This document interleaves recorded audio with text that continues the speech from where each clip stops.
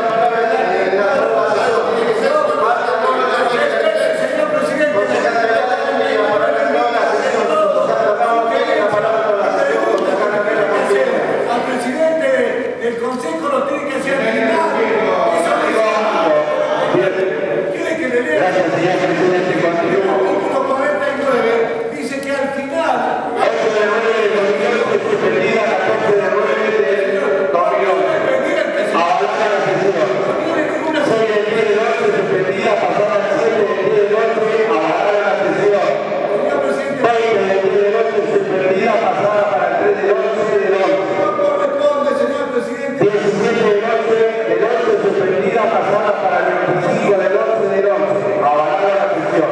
Sí, señor En el periodo legislativo del año 2012 fueron solamente dos sesiones ordinarias suspendidas, pasadas a la próxima fecha del calendario. En el periodo legislativo del año 2013, 23 del 5 del 13, suspendida, pasada 24 del 5 del 13, avalada la sesión. Señor, no respete la... 4 del 7 del 13, suspendida. 3 del 10 del 13, suspendida. 14, 11 del 13, suspendida. Sesión ordinaria del día 28 del 4 del 14. Integrantes del Frente para, de- del Frente para la Victoria se presentaron a la reunión de la Comisión Interna. Presentan dictamen en en minoría y avalan la sesión. Retiran de mesa de entrada orden del día, firman el libro de entrega, avalan la sesión. Se presentan en el recinto, firman el libro de acta, retirándose sin el permiso del presidente y el avance de la mayoría del cuerpo.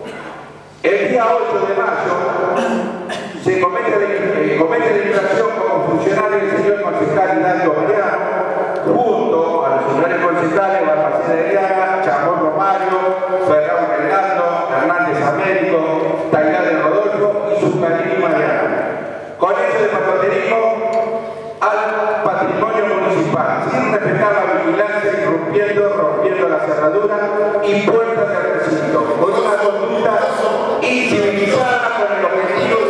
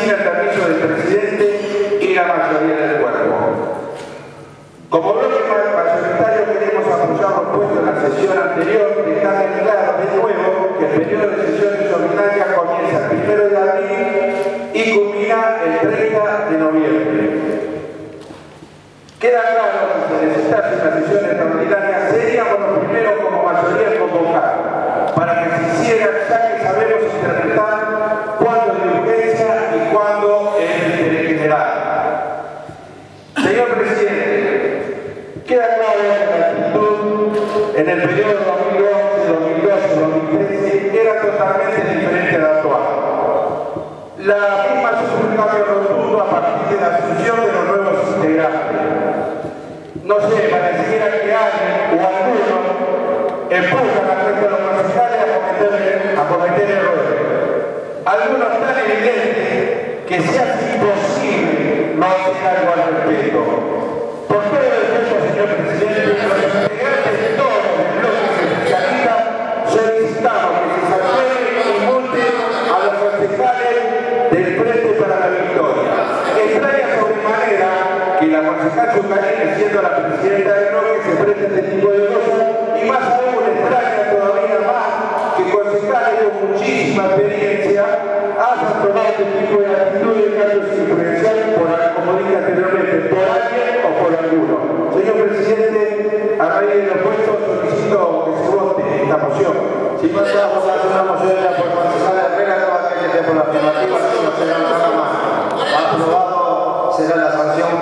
Corresponde, la mayoría. Se pasa orden día. No corresponde. Se pasa la, la pasadita por la secretaria.